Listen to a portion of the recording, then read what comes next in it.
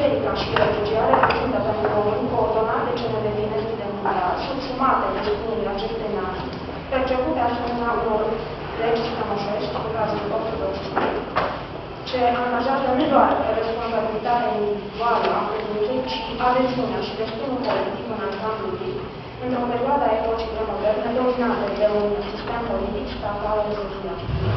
Demersul nostru nu își propune să repertorieze întreaga istoriografie românească în materie de istorie constituțională și ecleziastică, ci să surprindă în succes, dincolo de reconstruirea istoriei bisericești ca instituție, informații privind viața și sensibilitatea religioasă. Discursul istoriografic privind sentimentul religios este articulat de câteva repere problematice. Cunoașterea adevărurilor creștine, nivelul de instrucție religioasă a individului și a societății, practicile sacramentale, devoțiunea individuală, rugăciunea, botezul, comunia, împărtășania, devoțiunea colectivă, am fost interesat în special de cultul sfinților, a icoanelor, a pelerinajele, toate acestea exprimând până la urmă gradul și intensitatea trăirilor religioase.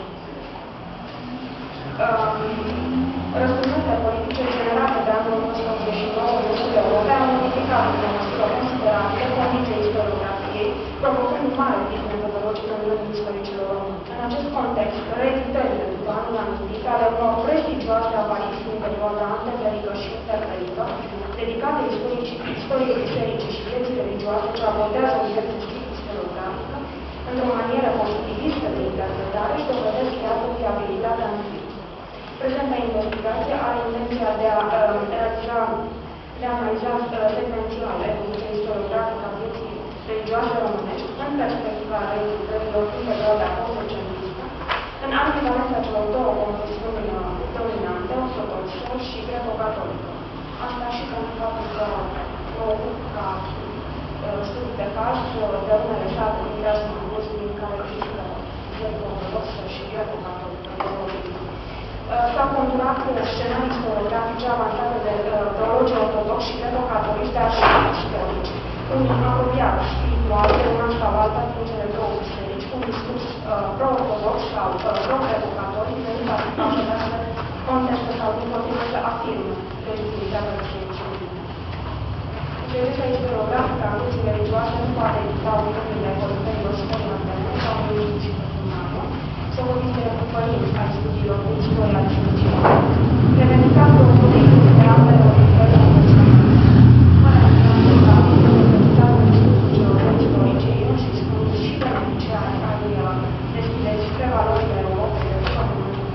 studiază pe coordonate admirative, din care nu lipsește uneori sacerdotul.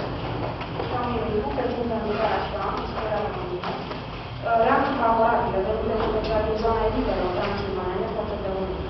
Pentru mai la tipăria cu anul 1913, prima noastră istorie bisericioasă în care înfățișează începuturile creștinismului de român. Partea a doua lucrării, stăruind asupra vieții bisericești a românilor transilvaneni până la începutul păstoriei episcopului Ioanilor, din perspectiva consecințelor posibilității român, reprezentate de unii. Lucrări de pionierat, operele istoricilor școlii academice au marcat în istoriografia românească modernă, apreciabil fiind efortul lor de a crea o solidă infrastructură documentală. Începutul 5 al secolului XIX a însemnat nașterea unei uh, noi școli istorice românești, pe care cercetătorul din momentul istoriei istoriografiei, Pompiliu Teodor, o consideră roman. Această epocă a studiilor din istorie istoricioasă românească este numită treptat pe sfârșitul secolului al XIX-lea și începutul secolului 20 de paradigmele pozitiviste de cunoaștere ce creează premizele primelor sinteze moderne, sistematice și inspirative, bazate pe cercetări naționale românești de o valoare științifică internațională. Direcție dificilă de cercetare, prezentând erudiție și spiritul disciplinar, studii istoric bisericești, s-a putut perfect din Islav Nicolae Ioca, autor a zeci de studii pe această temă și a continuat să lucrări în istoria bisericii române și a vieții religioase a românilor. Opera nouă Polina a apărut în anii 1908-1909 ca o primă sinteză completă a istoriei vieții bisericești, sprijinită pe documente publicate sau inedite, ale căror informații nu tehnologice pleacă asupra studiilor religioase. Unul, că el trebuie să, să lucreze pe izvoarele primare, deci în cazul religiei ortodoxe pe documentele care sunt scrise în slavonă sau în, în româna de, de secol 17-18. De asemenea, în cazul Bisericii Greco-Catolice trebuie să lucreze pe izvoarele în limba latină și pe toate elementele de dogmă religioasă care provin și de la catolici și de la ortodoxi, și de o, o religie cu elemente mixte. Iar în ceea ce privește obiectivitatea, istoricul religiilor nu își exprimă punctul de vedere, ci istoricul religiilor face o analiză detașată a fenomenului, fără ca din discursul lui să transpară apartenența la o religie sau la cealaltă. În condițiile acestea se poate numi că are o examinare istorică obiectivă. De aceea, observațiile doamnei Buia cu privire la unii istorici din trecut care s-au ocupat de fenomenul religios și n-au ajuns la obiectivitate, se cer luate foarte bine în seamă și să încercăm în viitor istoricii care se ocupă de religii să privească cu detașare, cu seninătate și să nu predea din nou dogmatismul prin intermediul unei cărți care se dea de știință. Deci știința e una și uh, partea religioasă uh, este altceva, respectiv practica, respectiv crezul uh, religios. Una nu contrazice pe cealaltă, dar sunt două domenii distincte. Deci nu putem introduce dogmatismul în discursul științific. Deci, toate observațiile făcute de Samuel îi mulțumesc foarte mult și de o prezentare generală a istoriografiei românești cu minusurile și plusurile sale se vrea și trebuie luată în considerare. Aș da cuvântul unei, mulțumesc frumos, doamnei Elena Bărbulescu pentru a ne prezenta o literatură, a ne prezenta o temă care e timpul rezervat, vă rog frumos să... Am spus, am mai întâmplat, a fost o perioadă foarte aglomerată. Deci timpul este copilăria ca tot o să Cum? Copilăria ca tot o să Eu sunt antropolog de fapt și în general cred că ceea ce scriu este rezultatul muncii mele și Acum, apropo de ceea ce vreau să prezentați despre copilărie, sunt două lucruri care m-au făcut să mă gândesc să prezentez la accidentul acesta. Primul a fost că acum vreo 14 ani... Uh, nu, nu m-am gândit. Deși este, de fapt. Uh, eram muzeograf la Muzeul Etnografic din Cluj și uh, ghidând un grup de copii, la un moment dat, ieșind dintr-o casă, unul dintre băieței am pus fiul lui Dracula. Era vorba despre un cuvânt de despre. Și mi-am dat seama că e o foarte mare diferență între ceea ce reprezentam eu acolo, ce încercam eu să-i fac să înțeleagă și ceea ce se așteptau ei să găsească în acel muzeu. Iar a doua uh, idee este că atunci când uh, am mers pe teren, în general am făcut uh, cercetări într-o localitate, într-o singură comună, timp de 10 ani, pe un subiect privind construcția genului. Asta era subiectul meu de doctorat. Și din uh, acest subiect au mai depus altele dintre care și copilăria. Și încercam să găsesc uh, informații despre copilărie. Cum au trăit copilăria generația celor mai vârstnici și informatori. Și spre stuparea mea nu ne să vorbească despre copilărie. Și în primul rând, când menționam cuvântul joc, toți își aminteau de adolescență și de joc în sensul de dat. Și a fost foarte dificil să-i fac să vorbească despre copilărie. Iar în momentul în care uh, au început să vorbească despre copilăria lor, i-am dat seama că era, de fapt, vorba despre, în general, dar în general, era vorba despre um, evenimente foarte triste. Și chiar majoritatea au avut o copilărie foarte tristă, deci și uh, meu. Um, despre copilărie, cel puțin până în ultimii ani s-a studiat foarte puțin.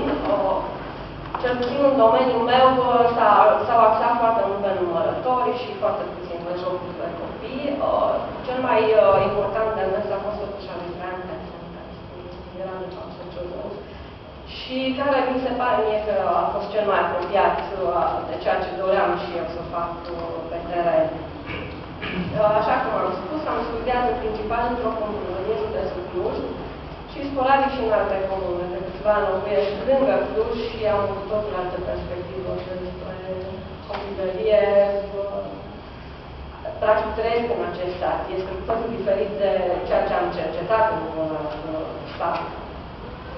Uh, se menționează copilăria ca fiind una dintre cele mai frumoase vârste ale umanității. Majoritatea persoanelor și amintesc plăcere, lucruri, fapte de copilărie sau fac referire la aceasta ca la cea mai perioadă, cea mai bună, cea mai frumoasă perioadă a vieții lor. Cât din asta este mult, îmi pare foarte mult, dacă stăm să avem o privire mai și mai pătrunzătoare, unor povestiri ce au ca să copilăria multor persoane din mediul rural, ce au văzut cuprinse astăzi între 50 și 80 de ani. Uh, întâi de toate aș dori să aduc în discuție atitudinea față de copilăria în mediul rural. Ca persoană aparținând mediului urban, avem tendința puternică de a crede că și în mediul urban trebuie să existe aceeași idee față de copilărie și să fie manifestă și aceeași atitudine pe care avem noi față de copilărie. Însă nu așa stau lucrurile.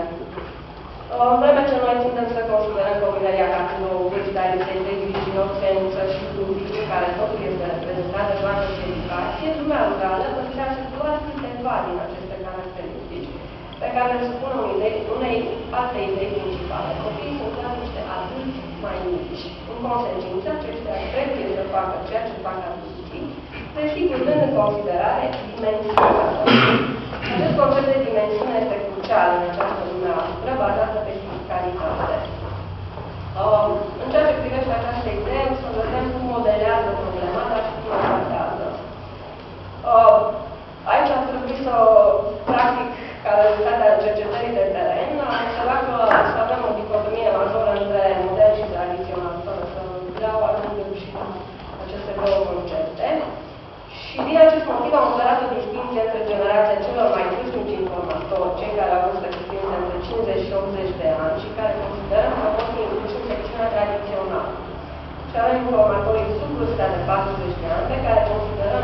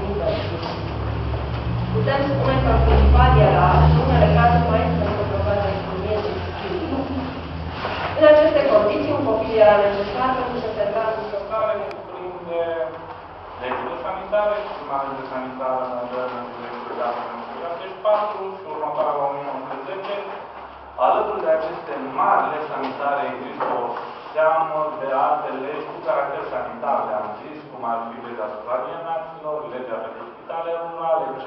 și multe altele. Dar pe lângă aceste legi propriu-zise, există o categorie specială de uh, texte care completează legislația sanitară și astea sunt rapoartele sanitare, care sunt cel puțin la fel de interesante ca și legislația sanitară. Sunt normele de aplicare ale legislației, dar o să revenim asupra lor. Deci, citind sau lecturând uh, această varietate de texte, legi sanitare și regulamente sanitare, se pune problema ce ne spun de fapt toate aceste texte. Ele ne prezintă, fiind acte de caracter normativ, ele ne prezintă o situație ideală, așa cum ar trebui să fie. Astfel că alături de ideala societate românească de pele zugrăvită prin intermediul rețelei normative a legislației sanitare, există și o alta, mult diferită, se pare de proiectul normativ. Ceea ce ne propunem noi aici, astăzi este să punem față în față cele două imagini. Cea creată prin legislația sanitară și cea reală, să zicem, reală în ghilimele, evident, că nu mai putem să pe cea reală, putem reconstruie pentru pentru că, de fapt, nu ne interesează legislația în sine. Ea este un proiect social. Ceea ce ne interesează este modul în care ea transformă realitatea socială. Și aici intrăm în terenul dificil al aplicării legislației care a fost și rămâne până astăzi o problemă majoră a legislatorului. Așa. Nu vom insista în cercetarea de față de apariția și evoluția legislației sanitare anticipată de lămite și apoi în regat. Totuși, unele rămâniri ar trebui date, măcar sumate. Cum se știe, prima lege sanitară modernă devine funcțională în 1974. Principiile sale sunt moderne și vor rămâne în vigoare până la 1910. Conform acestei legi, Serviciul sanitar este un serviciu de stat, organizat sub forma unei direcții în cadrul Ministerului de Interne. Medicina preventivă nu este nici a neglijată. Legea are un capitol special, tot la igiena publică, separate pentru igiena industrială, igiena stabilimentelor publice, igiena locuințelor, alimentară, etc. Punerea în practică a acestui serviciu sanitar de stat revine conform legii unor administrațiuni sanitare, generale, locale și speciale, care sunt Ministerul de Interne, prefecturile și comitetele permanente ale districtelor, mă rog, și subprefecturile și primările comunelor, care concludează cu ceea ce legea numește organele sanitare, care la rândul lor sunt ele generale, locale și speciale, de la Enfield, cu alte cuvinte, serviciul sanitar funcționa prin colaborarea corpului medical cu autoritățile centrale și locale. Se instituie tot atunci și un serviciu sanitar rural, care avea de bază instituția medicului de bază, care era altele mai veche, și care după 1881 va fi completat de serviciul sanitar rural cu o nouă instituție, cea a spitalelor rurale. Sistemul sanitar instituit prin legea din 1974 era constituit eratic, având drept bază unitățile administrative, comuna, plață și județ. Deci, practic, se mula pe unitățile administrative. Iar la centru se instituia un Consiliu Medical Superior cu rol consultativ. Legea sanitară, vă spuneam, va fi completată prin un număr de regulamente. Textul legii din 1974 prevedea elaborarea numai de 17 regulamente chiar în textul legii se specifică la diverse articole că o să apară niște regulamente speciale. Următoarea lege sanitară din 1910 prevedea publicarea 35 de regulamente care să o completeze. Citind legile și regulamentele, putea rămâne cu impresia față de altfel că România la sfârșitul secolului al XIX-lea dispune de un sistem sanitar și igienic modern, funcțional și de ceea ce numeam cu asta ocazie modernizarea igienică sanitară este pe care să se înfăptuiască la începutul secolului 20. Medicii sunt de acord că legea sanitară în vigoare este o lege excelentă și citesc unele mici modificări ar fi perfecte, chiar citat, dacă ar fi aplicată în spiritul și litera ei.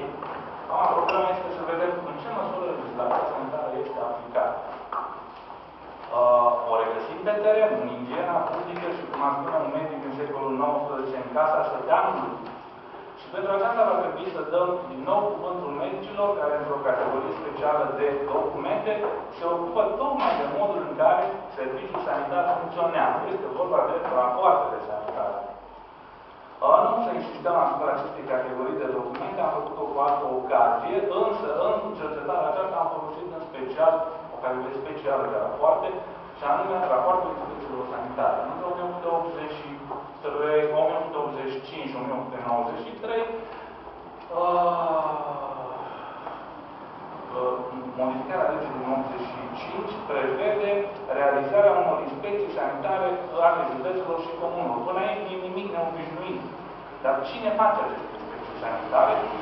Și aici și deja din comun sunt membrii Consiliului Sanitar Superior. Adică ceea ce cele, cele șapte, apoi nouă, apoi 11 personalități medicale de la părți care uh, în timpul vacanței de vară, nu mai în timpul vacanței de vară, au obligația de a face inspecția sanitară a unei circunscripții care cuprindea patru județe. De obicei, în oraș erau însoțiți de prefect și de medicul primar de județ, iar în comunele rurale de medicul de plasă și de subprefect. Totodată, ei au obligația de a redacta un raport al inspecției ce trebuie prezentat Ministrului de Interne până la 1 februarie anul următor. În caz contrar, citește, se va considera ca demisionat, chiar citat. Între 1985 și 1993, aceste rapoarte sunt publicate în monitor oficial. De ce? De ce sunt așa de importante aceste rapoarte? Uh, în primul rând, ele sunt, impresionează prin volum, dar ceea ce este cu adevărat important este imaginea pe care o transmit, o imagine zic eu, un contrast orbitor. Aceste înalte personaje administrative, toată floarea cea vestită a lumii medicale românești face aceste inspecții. Și doctorul Felix, și doctorul Fotino, doctorul Măldărescu, toți, toți mari medici îi regăsim făcând aceste inspecții și publicând. Uh, uh, aceste înalte personaje administrative văd tot și nu de nimic. Distanța culturală care îi separă de lumea pe care o deschide este maximă mărturia lor este dură de măsura misiunii civilizatoare pe care și-o asumă. Mi se părintă astfel prin fața ochilor satele încărcate în oroaie, crucele pline cu băligare, piețele mizere și poporile dărăpânate, miserie, indolență, nepăsare. România modernă văzută prin ochii membrilor Colegiului Sanitar, Consiliului Sanitar Superior, nu arată deloc bine. Pe alocuri chiar fidoasă. Dar să-i lăsăm mai bine pe ei să ne povestească în primul rând să începem cu imagine de ansamblu, aproape apocaliptică. Doctorul Felix, Iacob Felix, spune că încetul cu încetul starea igienică sanitară a populației se îmbunătățește, dar, citez, aceste progrese foarte slabe sunt o consecință directă uh, a propășirii naturale a civilizațiunii noastre. Ele nu sunt datorite administrațiunii și serviciului sanitar, e citatul. Altfel spus, statul s-ar putea dispensa de serviciul sanitar care, în mod practic, nu aduce niciun folos cetățean. Asta trebuie să înțelegem de aici. Am putea crede că o asemenea poziție extremă este o excepție, că doctorul Felix exagerează. Nu? Și alți colegi ai sale, din înaltul post sanitar, în urma terenului, fac afirmații asemănătoare. Și vă dau un singur exemplu. Doctorul Fotino, vorbind despre serviciul sanitar rural la 1886, îl consideră o ficțiune. Exemple de acestea ar putea fi ușurință muncite. Imaginea de ansamblu este catastrofală. Practic ce am încercat să fac, am vrut să iau câteva articole din legea sanitară, câteva capitole, și să văd ce scriu acești medici despre aplicarea legii sanitare în diverse județe. Și o să mă rezum în această prezentare doar la doar să vedem cum se aplică de pildă principiile legii și ale regulamentelor în atât de importantul domeniu al prevenirii bolilor infecțioase. Cu alte cuvinte, să vedem în ce măsură prevederile legii privitoare la bolile infecțioase sunt suprinse pe teren. Principiile esențiale care trebuie aplicate în acest domeniu sunt cele de astăzi. Uh, declară obligativitatea declarării bolilor și obligativitatea izolării bolnavilor. Lucrurile însă nu sunt niciodată așa de simplu în parte. Aceste principii, mai ales în mediul rural, sunt aproape imposibil de aplicat. La 1998, o simplă epidemie de scarlatină în două comune rurale din Brahova dă coșmarul doctorului Crucean, însărcinat cu combaterea epidemiei. Și ce mi spune el? Citesc. Timp de aproape șase luni nu s-a făcut decât să se înregistrat cazuri vechi tăinuite. Cei mai mulți nu au fost descoperiți decât când erau deja în stare de gahecie, cu diferite și grave complicațiuni proprii acestei maladii infecțioase. Mulți au fost găsiți când erau aproape în agonie și alții nu au fost descoperiți decât după moarte. Cazurile descoperite chiar la timp n-au servit la mare lucru decât doar pentru statistică. Când bolnavul nu a folosit din cauză că sătenii, n-au dat nicio atenție tratamentului și profesorilor medicale și nici ridicarea lățirii epidemiei nu s-a putut obține prin mijloacele comune, chiar citat cum practic medicul nostru timp de șase luni încearcă să stăpânească epidemia, să o controleze, nu reușește. Epidemia nu poate fi stăpânită datorită lipsei de cooperare a sătenilor care nu respectă cele două principii din legea sanitară. În disperare de cauză, doctorul Cruceanu apelează la forța armată. Nu era singura soluție. Cu ce rezultate să lăsăm tot pe el să ne prezinte. Citez. Deși mi s-a pus la dispoziție un mic detașament militar, în ultimul timp, totuși, izolarea caselor infectate lasă de doi. Acum, ca și mai înainte, când erau păzite de gardiști stăteni, locuitorii găseau mijloace să comunice cu casele infectate, fie de drept, fie că săreau gardurile grădinilor sau prin alte dosuri, pe unde nu puteau fi supravegheați, parcurgând distanțe mari, până izbuteau să intre în casele infectate. Așa am găsit pe femeia lui Gheorghe Tichiciu, în casa căruia sucumbase doi copii de scarlatină complicate cu difterie, și alți doi erau bolnavi, am găsit, zic, împărțind cu obrici și alte ale mâncării ca pomană, pe la copiii de prin sat, și a fost surprinsă când făcea aceeași pomană în casa unui sătean, care avea trei copii bolnavi tot de scarlatină. Cu toate aceste ambe case erau păzite de câte un soldat. Nu chiar citat. Lumea de unde vine doctorul Cruceanu e îndreptată către viață. Lumea femeii lui Gheorghe Tichiciu a îmblânzit moartea, cum ar spune Filip Ariel. Dar cât de antimodernă și cele din urmă tragică este această îmblânzire. Într-un final, coșmarul doctorului Cruceanu i-a sfârșit atunci când, la inițiativa directorului general a Serviciului Sanitar, izolarea bolnavilor se va face la marginea satului din Gorgă. Se improvizează o tabără, bine păzită și... Experiența trăită însă de medicul nostru este traumatizantă. Medicul este revoltat și marcat de citez modul cum își ascundeau copiii bolnavi, dar mai ales de cazul cărțumarului Tănașe Pișorul din Măgureni, care nega chiar existența copilei sale Ligna, de patru ani, pe care am descoperit-o după trei zile de căutare în a cincea zi a bolii, în plin anasal și cu o enormă cavitate adenită cervicală. Această copilă este pe deplin sănătosită. Acest caz este foarte, foarte instructiv. Acest cârciumar își nega existența copilei cu un cinism uimitor față cu vreo 15 săptămâni care erau în cârciuma sa și chiar față cu primarul comunii care ne întopărășea și toate acestea pentru singurul scop de a nu se izola casa. Dragii mei, Cazurile descoperite chiar la timp n-au servit la mare lucru, nu? Încheia citat. Fără nicio îndoială, doctorul Cruceanu nu poate să înțeleagă această lume țărănească, iar noi privim de atât de departe, poate că putem înțelege, dar nu putem accepta. În concluzie, din rapoartele sanitare în general, este că legislația nu se aplică de parțial și defectuos, sau pur și simplu este ignorată cu desăvârșire. Cum a spune doctorul Rigani, a rămas, citez, șlopă neagră pe hârtie albă chiar citat, chiar așa să fie. Răspunsul, zic eu, este negativ. Chiar dacă multe dintre prevederile legislației sanitare nu se aplică peste tot, sistemul sanitar există, funcționează și, în mod evident, devine după 1900 tot mai bine adaptat la nevoile cetățenilor, cu alte cuvinte, mai eficient.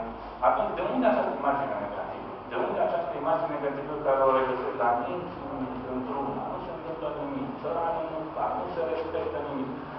Uh, e greu de explicat dacă câteva ipoteze de lucru se cade să lansăm. O cauză ar fi specificul surselor. Există o camcarnă a rapoartelor sanitare, ele pun în mod natural accentul pe deficiențe, disfuncționalități și doar rare ori prezintă lucrurile pozitive. Doctorul Felix Mătărescu, Cotinovul, merg pe terenul inspecții, raportează în alin ceea ce domnul ministru de interne trebuie să știe pentru a se lua măsurile de îndreptare, cum se spune din partea epocii Principiul este simplu. Ceea ce funcționează este minunat că funcționează, ceea ce nu funcționează trebuie raportat spre a se lua măsuri. Dar imaginea imobilismului la punctul zero al igienei publice vine și din experiența personală pe măsură ce uh, infecțiile anuale se acumulează. Acum, o problemă care apare citind legislația sanitară este în ce măsură legislatorul a fost conștient că legislația se poate aplica sau nu în momentul uh, elaborării ei. Poate că ei chiar credeau că uh, se va aplica legislația care o elaborau. La um, uh, să avem o privire. La 1991, de pildă, regulamentul pentru prevenirea bolilor infecțioase prevede metode de dezinfectare sistematică a locuințelor con, uh, contaminate. Dar, sper, regulile prescrise în acel regulament se vor observa cu strictețe totdeauna când executarea lor este posibilă. În cazurile când ele nu se pot observa toate din cauza sărăciei, tramarea persoanei bolnave și a comunei se vor aplica după putință parte din eficacitate. Dacă legislatorul are dubii în privința posibilității aplicării, prescripția apare expresia magică după putință. Toate aceste prevederi din legislație unde apare după putință nu se aplică constant niciodată. Rapoartele lipsii sublinează acest lucru. Uh, dar unele dintre... Ok, așa. Uh, unele dintre aceste prevederi din legislația sanitară uh, sunt de utopice. Uh, problema este, cercetând uh, în amănunțime în continuare, ne dăm seama că legislația sanitară de fapt se aplică la centru, în orașe, și uh, nu se aplică către Mahala, poate cuvinte modernizare igienică sanitară pornește de, are, pe modelul cătei de uleț. Este, uh, pornește din puncte centrale sau din mai multe puncte, uh, din mai multe puncte și trebuie să se extindă astfel încât să acopere tot teritoriul. Și acum fraza finală. În concluzie, din standarde înalte, perfect europeană și modernă, legislația sanitară pare mai degrabă un proiect pentru România modernă decât o normă a cărei aplicare ar fi posibilă în momentul legiferării. Aspectele privitoare la organizarea serviciului sanitar pot fi puse mai ușor în aplicare, existând totuși pentru un mă rog, în ceea ce privește aspectele privitoare la igiena publică, lucrurile se complică și intrăm în zona idealului chiar a utopului. Legislația sanitară deci pare să fie o grilă de lectură a unei realități viitoare, ea imaginează societatea românească așa cum o dorește legiuitorul. Din acest punct de vedere, este o ficțiune.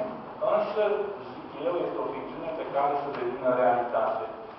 Mulțumim, domnule, domnule Schulz, mulțumim.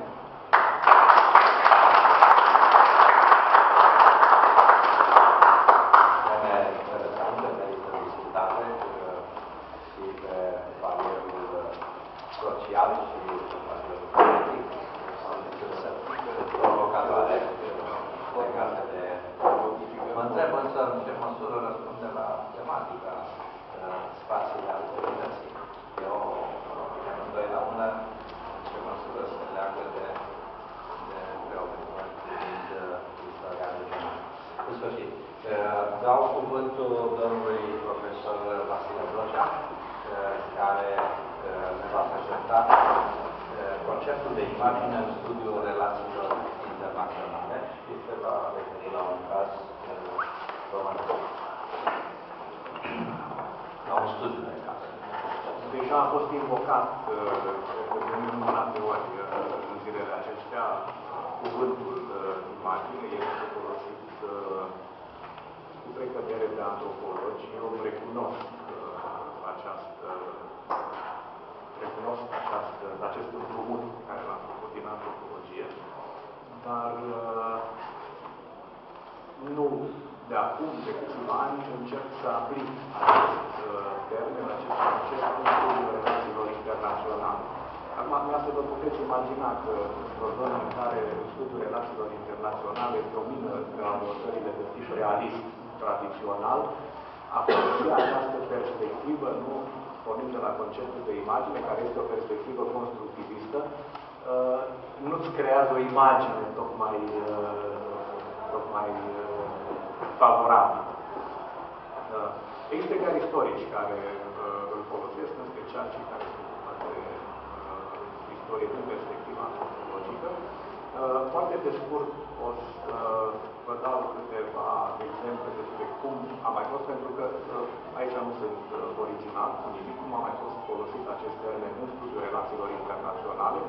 Voi pune în paranteză întreaga filozofie a uh, imaginii, anume cum este tratat termenul în alte domenii ale uh, cunoașterii, de la filozofie, uh, antropologie, inclusiv semiotică, poate câteva cuvinte despre, despre istoriografie. Uh, și apoi uh, o să uh, un foarte scurt uh, ce mă privește pe mine, omul este autorul unei monografii despre evrei din uh, Banat. Este autorul unei biografii a rabinului uh, Ernst uh, Neumann are preocupări de durată pe, pe această temă, sper că una dintre vorbile autoritate Da, sigur, nu mă ocup numai de istoria evreilor, dar aș vrea să considerați că vorbesc pozitiv pe o asemenea temă și critic pe alta. De obicei sunt critic cu toate temele pe care le vorbesc și cred că spațiile alterității înseamnă să privim problematica tuturor componentelor confesionale și culturale din interior, respectiv relațiile României cu diverse alterități. Dar cel mai important pentru noi în momentul de față este să ajungem la un discurs, așa cum invoca și colegul Docea, la un discurs cât mai obiectiv, cât mai aproape de, de, de realitate. De aceea, clarificarea terminologică, pe de o parte, sau conceptuală, pe de altă parte, este extrem de importantă. Noi nu putem vorbi, de exemplu, despre comunitate minoritară astăzi, așa cum se vorbea în secolul al XIX. Noi nu putem să vorbim despre iluminism așa cum se vorbea cu 200 de ani, așa cum scria Ion Budai Teleanu sau uh, Gheorghe Șincai sau Samuel Min. Deci asta înseamnă că nu avem nicio diferență față de epoca de Ori aici intervine conștiința cercetătorului. Trebuie să facem o distinție între trecutul care, istoric pe care îl povestim și conștiința uh, cercetării istorice uh, prezente. Acest aspect, această diferență o face tocmai istoria conceptuală. E un domeniu pe care l-am încurajat și îl încurajez în continuare, sperând ca colegii din România să fie foarte deschiși față de necesitatea schimbărilor în, în abordarea trecutului, atât a trecutului național, cât și a trecutului diverselor comunități sau vecinătăți. Despre evreitate, la Timișoara, sinagogi, rabii și instituția rabinatului, am să vă spun un, pe scurt câteva lucruri ca să puteți să aveți minime repere. Într-o carte am detaliat pe capitole istoria evreilor din am detaliat aceste lucruri. Aici am, am revenit și am punctat de ce este important rafinatul, ce înseamnă rafinatul, ce au însemnat rafinatul. E o alteritate serioasă la nivelul fiecărei regiuni și la nivelul fiecărei națiuni. Dacă vrem să înțelegem alteritatea, atunci trebuie să ne ocupăm la modul foarte serios de alteritate, de celălalt, de ce gândește celălalt, de ce face celălalt, ce reprezintă celălalt, pentru ca să ne asumăm o parte din uh, ceea ce el este, să ne asumăm uh, noi înșine. Uh, numai în felul acesta putem să construim punțile de legătură, numai în felul acesta acceptăm cu adevărat pluralitatea în momentul în care exprimăm ceva prin intermediul celuilalt. Sau chiar reușim să ne exprimăm în valorile și în ideile celuilalt. Originile evreilor uh, timișoreni, foarte pe scurt, uh, datează din secolul al XVII-lea. E un, uh, un monument funerar la cimitirul evresc din, din Timișoara, care datează din 1643. E un medic separatist care e înmormântat acolo. De aici tragem concluzia că exista deja o comunitate separatită, fiindcă unul singur nu putea să își rezolve problema înmormântării, trebuie să fie la evrei 10 persoane ca să poată să minion se numește și ca să poată fi uh, asigurată înmormântarea. Deci comunitatea de atunci, din secolul al XVII, din prima jumătate, este una separatită, adică spaniolă, adică una care folosea limba latino, o spaniolă amestecată cu cuvinte uh, ebraice. Uh, documentele din jurul anilor 1700 uh, întăresc observația, testând existența în oraș, în Timișoara, a evreilor separativi, dar și a evreilor așkenazim, adică a evreilor germani, a evreilor care foloseau limba idiș, idiș fiind o limbă germană cu termeni preluați din ebraică.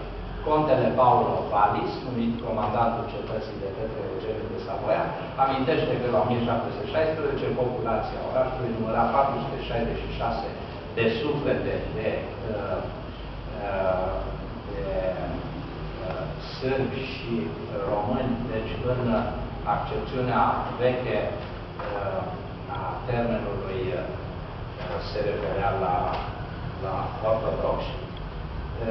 35 de armeni și 144 de evrei. În anul următor, autoritățile habsburgice invită alți evrei la Timișoara, respectiv pe evrei din Belgrad, scopul fiind refacerea economică a orașului și a regiunii ca urmare a războaielor habsburgice. Cea din tâi comunitate germană este atestată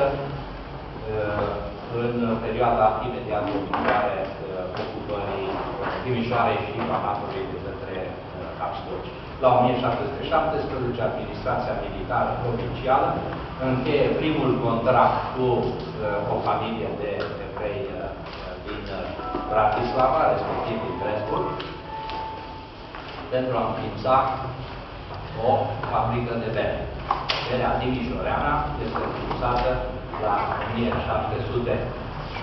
La 1717 se încheie contract, în 1716, 1718, 1717, e vorba de fabrica de bere. Până în 1991, rețetele erau făcute de evrei pentru fabrica de bere, inclusiv în perioada comunistă.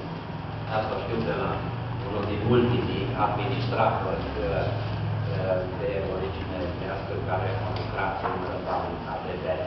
Familia se numește Căpiș, Abraham Iacob și Moses Căpiș provin din Presburg, respectiv Bratislava.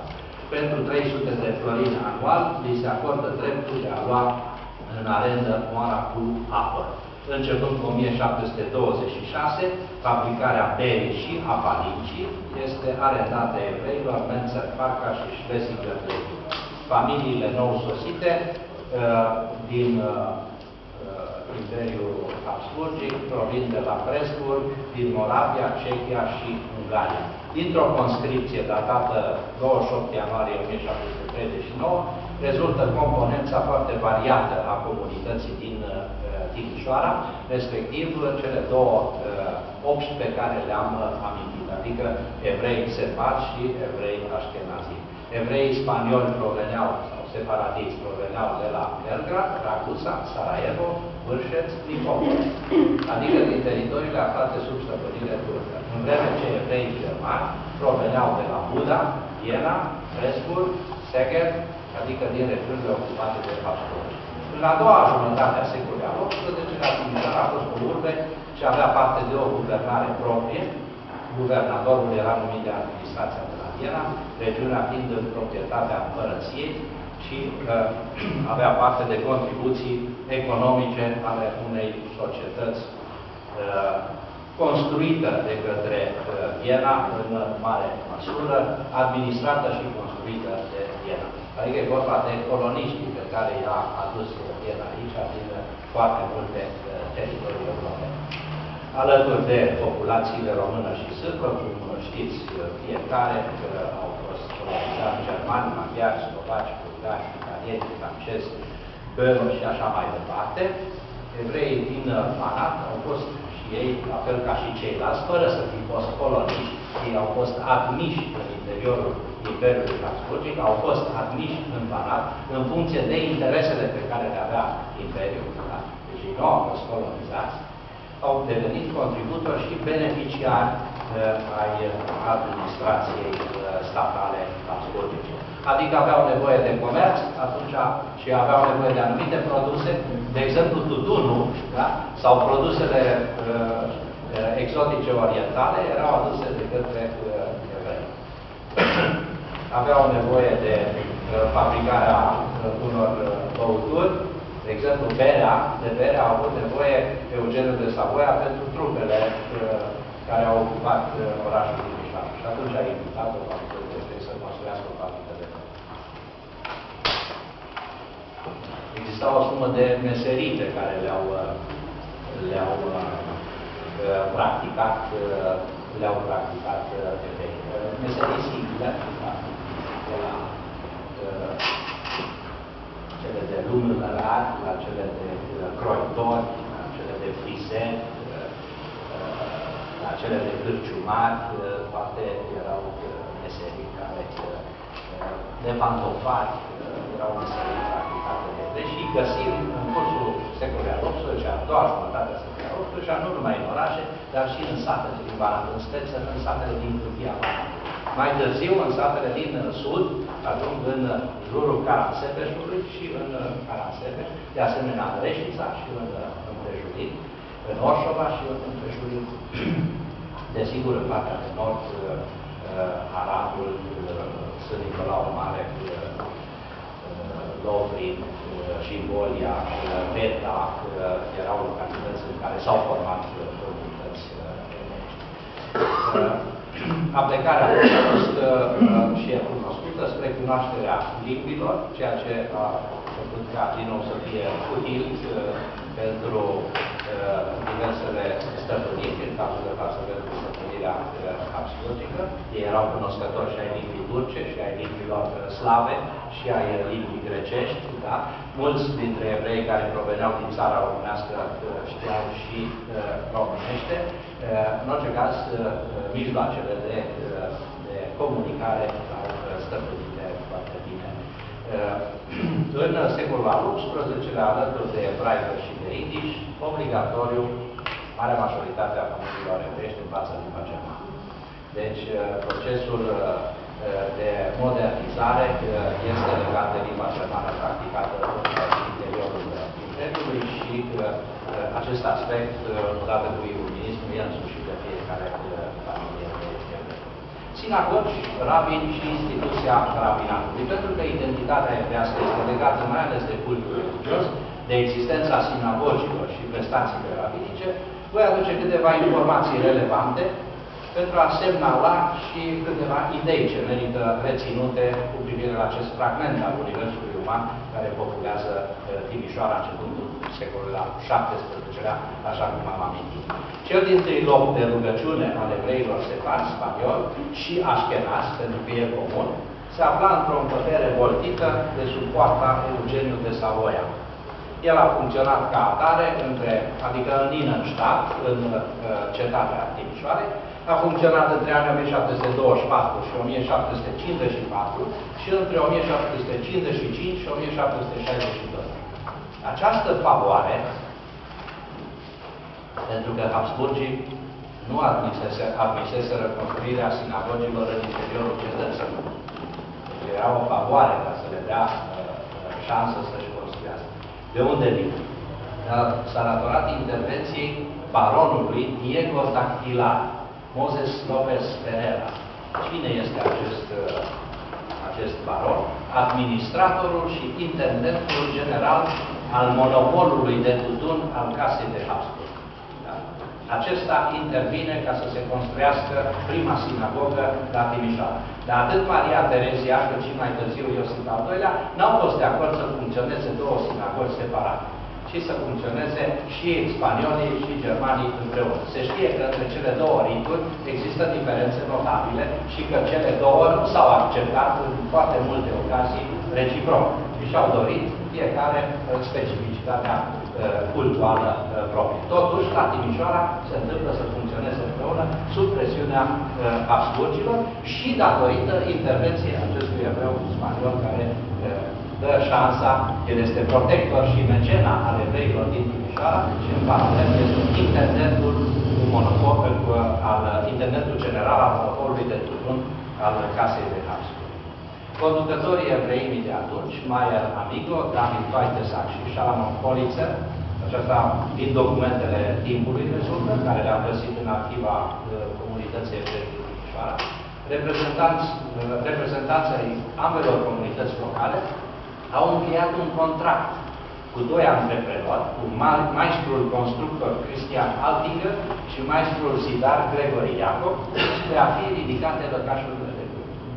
Potrivit unei descrieri târziu, târzii, ce ne-a parvenit prin intermediul uh, rabinului Iacob Zinger, Clădirile fuseseră situate în apropierea porții Eugeniu de Savoia, la intrarea în cartierul evreiesc. Cine știe Timișoara trebuie să știe că exista un Judenhof sau un Juden quartal sau Juden care, așa apare în documentele de secol al XVIII-lea, fără să fie uh, similar cu tipul de ghetou care exista în, în spațiul italian sau uh, spaniol. Totuși, marea majoritate a populației evrești, care avea dare de mână, putea să se așeze acolo. De, de aceea se numește Judenquare. Unde, unde se situează acest Judenquartal sau Judenquare? Între strada uh, Emanuel Ungureanu de astăzi și strada Vasile Alexandru. Adică între Piața Unirii și uh, Spitalul Militar inclusiv uh, partea cu uh, spitalul uh, militar devine componentă. Dar, spre deosebire de alte locuri, în această zonă, în care unul dintre colegii mei de la Timișoara, domnul Camil Mătescu, locuiește chiar pe una din străzi, spre deosebire de alte, și nu i-am spus până acum lucrul acesta, da, spus acum și spre deosebire de ghetourile din Europa de Vest, aici a fost permisă și așezarea altor locuitorilor, noilor locuitori de alte origini. Adică mai vin și macedon-români și se așează, mai vin și reprezentanții ai funcționărimii austriece de la Viena, care își construiesc casă. Condiția pe care o pusese Imperiul Habsburgic era să fie sănătoși, să aibă bani să-și construiască o casă, și să aibă o meserie. O meserie care să fie utilă orașului. Deci nu ne așezăm așa cum... Uh, asta era regula la nivelul imperiu. De aceea s-a și putut construi un, uh, un cod uh, cultural al orașului și un cod civic, o, o viață bazată pe norme, pentru o diversitate de, de populație. Orașul, practic, este construit de la zero, începând cu secolul al XVIII. Văzute din stradă clădirile care, uh, despre care vorbesc eu acum, adică sinagogile, uh, erau identice. În interior, cele două sinagogi se deosebeau datorită uh, ritului, adică totuși separzii au încercat în interior, fără să se observe să se delimiteze de aștenaz. Sinagoga separză avea bănci de jur împrejurul peretelui, pe 3-4 rânduri. Pereții erau lucrați în frescă cu motive florale, inscripții religioase de braică și pe ei erau pictate scene ceremoniale. Obiectele de cult erau ornamentate. Cine observă lucrul acesta dintre istorici, uh, uh, mai întâi, uh, mai întâi observă Iohan Nepomuk Fraier și mai târziu preia informația Nicolae Ieși, da, care și el se ocupă într-unul din fragmente de descriere aceasta. Iar dintre, dintre rabinii evrei care au scris despre sinagogi și evoluția sinagogilor este Iacob Zine, unul dintre puținii care s-au ocupat de exact de problematica sinagogală și de rabinii care au lucrat în Timișoara. Centrul sau cartierul evresc din Timișoara, cetate, mai cuprindea în secolul XVIII o școală care în uh, ebraică se numește Heder, birourile ambelor comunități și ale confreriei sale, măcelăria și un restaurant ritual, locuința rabinului Ashkenaz și aceea a Hahamului separat, adică tot un rabin, care se spune Haham. Sinagogile au fost parțial deschise în anul 1764, în vremea în care Wolf Iacob devenise rabin de Timișoara. Fusese unul dintre cei mai importanți susținători ai proiectului de ridicare a sinagogilor. Originat din Cracovia, el a fost și prim rabinul Timișoare, Ober rabină, mai apoi Landes rabină în Transilvania. Deci pleacă de la Timișoara și devine. Se întâmplă deseori să fie invers. Centrul cel mai important din Transilvania, eh, din punct de vedere al mișcării iudaice, este Alba Iulia. Acolo eh, funcționează cea mai importantă eh, viață comunitară și religioasă evreiască.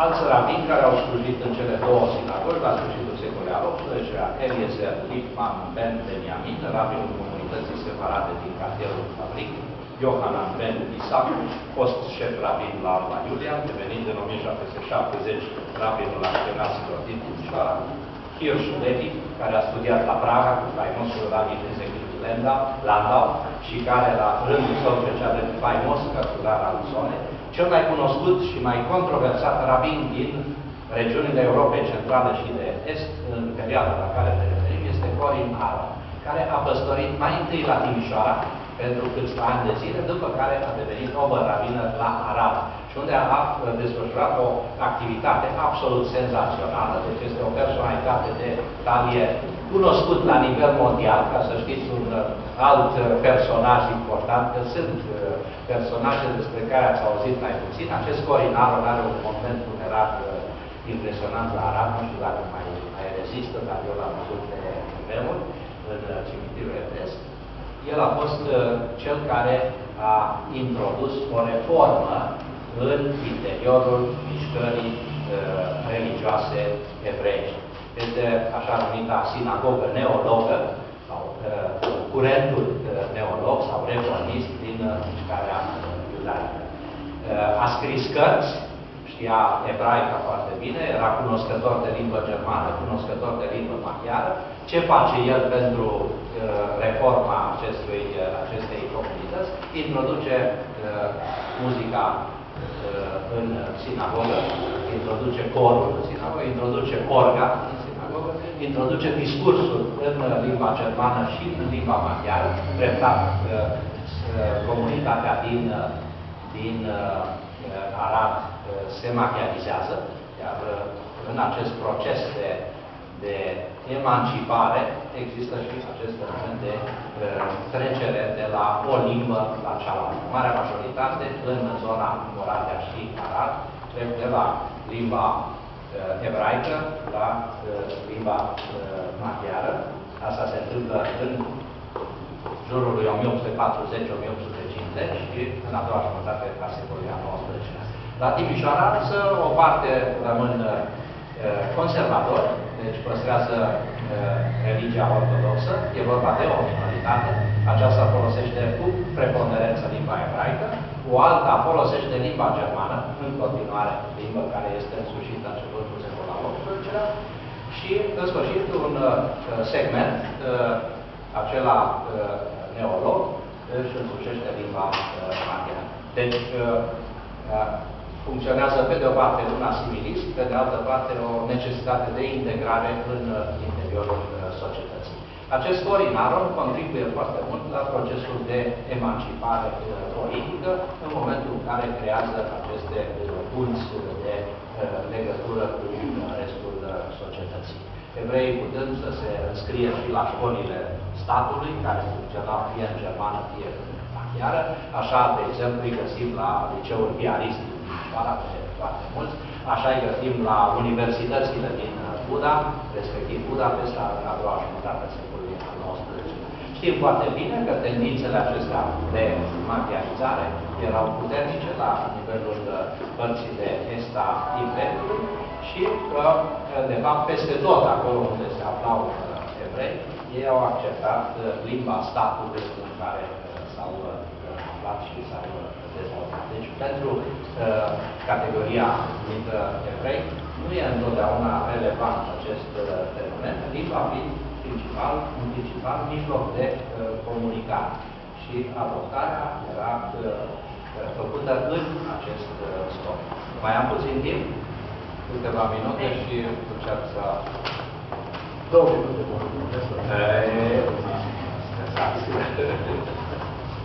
Uh, pentru, pentru evrei din Timișoara, religia a fost uh, totdeauna o uh, referință. Procesul este spectaculos în Timișoara și în întreg Banacul, ceea ce privește modernizarea. Ei se implică în societate, în viața economică, în viața academic-profesională, în mișcarea jurnalistică, mulți dintre jurnaliști. Ce e interesant, în a doua jumătate a secolului al XIX-lea, jurnaliștii de la Temesvarer Zeitung sunt uh, evrei cu studii de germană și de maghiară. Ei știu foarte bine maghiară și redactează în limba germană Temesvarer uh, Zeitung. Sunt uh, cunoscători ai, ai culturii din întreg Imperiul din întreaga monarhie austro-ungară. Numărul mare de sinagogi neologe ridicate pe parcursul secolului al XIX-lea indică o continuitate a culturii, dar și preocuparea pentru integrare spirituală, culturală, socială. Evreii pânățeni au văzut lucrurile în funcție de societatea în mijlocul căreia trăiau și acesta a fost unul din meritele lor incontestabile. Uh, sinagogi neologe s-au ridicat două la Timișoara, una în 1865, care a fost inaugurată de două ori, în 1865 și în 1872, cu ocazia vizitei împăratului Franț Iosef s-a inaugurat a doua oară. Una în 1899, uh, cea din fabric, uh, Apoi s-au ridicat sinagogi neologe la Lubăș, aici, în centrul orașului, sinagogi neologe, sub influența aceluiași Polimană, la mișcării de reformă, la Arad, în centrul orașului, la 1828, la Caransebeș, în centrul orașului, la Deta, la Reșița, la aproape, în aproape toate centrele mai importante, și Bolia, au fost ridicate sinagogi neologi. Iată ce spune că o placă din sinagoga din cetate, ridicată în 1865 și reinaugurată în 1872, se spune o placă dezvelită cu ocazia vizitei împăratului. Cu ocazia preamăritei sale vizite, onorându-ne cu prezența sa de cel mai înalt rang și aducând semnul milostiv al aprobării sale, Franz Iosef I a inaugurat încă o dată templul nostru strălucit și sfânt. Conținutul acestei plăci de marmură este lăsat ca amintire nepoților de mai târziu, ca o mărturie că milostivirea dinastiei Habsburgice s-a extins asupra tuturor cultelor. Ceea ce este adevărat, adică și bisericile catolice, unele dintre ele uh, erau ridicate prin uh, contribuția împărăției, dar și bisericile ortodoxe erau ridicate cu uh, ajutorul banilor veniți de la împărăție. Cu alte cuvinte, problema toleranței religioase trebuie văzută inclusiv în a doua jumătate a secolului al XIX-lea ca o componentă a politicii pe care și ortodoxii au înțeles-o ca atare în interiorul uh, uh, spațiului uh, pătățean. Un fenomen care particularizează Banatul, pe lângă multe alte. Da? În zona Carasebeșului, unde a funcționat un seminar și funcționează și astăzi ortodox, preocupările pentru studii iudaice sunt incredibile la sfârșitul secolului al XIX și în prima jumătate a secolului 20. Sunt uh, oameni care au studiat la Cernăuți, care au devenit doctori în teologie și care aveau o adevărată bibliotecă iudaică la uh, seminarul teologic din Canase. Mai vorbesc de relațiile interpersonale, care au fost studiate de unul dintre colegii noștri de la Timișoara, deci uh, preotul dr. Ionel Popescu, într-o teză de doctorat, foarte frumos și foarte complex reprodus. Alte elemente pe care vi le pot uh, enumera aici, în a doua jumătate a secolului al XIX-lea, au existat personalități de prim rang ale iudaismului european la Timișoara. A existat o adevărată școală iudaică. Uh, pentru poziția de șef rabin la Timișoara concurau rabini care veneau de la Cracovia, de la Budapesta, de la Sever, asta în 1879, da? de la București, de la Sarajevo, de la Belgrad, da? și de la Praga. Deci, vă, vă dați seama. Și, bineînțeles, că un contract de la vin decidea dacă este bun, dacă este compatibil cu această poziție de om la vină bun sau altul. Moritz Löw a fost ales în 1879, el făcuse studii la Berlin, Hochschule für Wissenschaften Judentums, deci în alta școală de științe iudaice, de la, de la Berlin. Rabinii au fost întotdeauna și în secolul al XX-lea personalitățile de vârf ale comunității. Ei erau coordonatorii și administrativi, dar și ai vieții spirituale. Erau extrem de importanți, marea majoritate au rămas uh, cunoscători ai limbii ebraice, inclusiv ultimul rabin care s-a stins uh, uh, în urmă cu câțiva ani de zile, 2004, era un cunoscător perfect al limbii ebraice, era în stare pe loc să citească Tora și să transleze tot ceea ce cuprinde fragmente pe, pe, pe loc din ebraică în română sau din ebraică în maghiar. Era, era cazul lui Sianes Neumann, dar așa s-a întâmplat și cu ceilalți rabini din secolul al XX-lea, Jacob Singer, Max William Drexler, Nicolae Schönther, toți au fost, au fost oameni foarte bine, foarte bine pregătiți. În orice caz, spiritul comunitar al evreilor a depins de viața sinagogală și de viața și de coordonarea pe care o exercita rabinul sau rabinii, respectiv rabinatul, instituția rabinatului. De asemenea, problemele de integrare, o lungă perioadă de timp, rabinii fiind principalul partener de discuție cu oficialitățile, fie politice, fie administrative. Aceasta până la nivelul sfârșitului secolului al XIX-lea și începutul secolului al XX-lea, când din ce în ce mai, pe, pe urmele emancipării, din ce în ce mai mult fiecare putea să răspundă și era obligat să răspundă de propriile sale fapte și de propriile sale atitudini. Deci, ceea ce privește evreii Timișoare, pot să vă trag doar o, o concluzie. Ei au numărat ca uh, mișcare demografică vorbind uh, cel mai important număr a fost uh, 15.000 de suflete. Da? Deci, uh, la începutul secolului al XX-lea reprezentau 15% din uh, populație. După al doilea război mondial, uh, în jur de 15, 13.000 de iar în timpul războiului au fost chiar 15.000 prin concentrarea tuturor evreilor în vremea lui Antonescu prin legi au fost obligați să aducă în centrele cel mai importante ale României pentru controlul care exista în acea perioadă. Totuși, evreii la Timișoara nu au trecut din fenomene similare cu cele din Moldova sau din Transnistria sau chiar din București, respectiv din alte centre de discriminare sau problemele rasiste au fost mult mai puternice.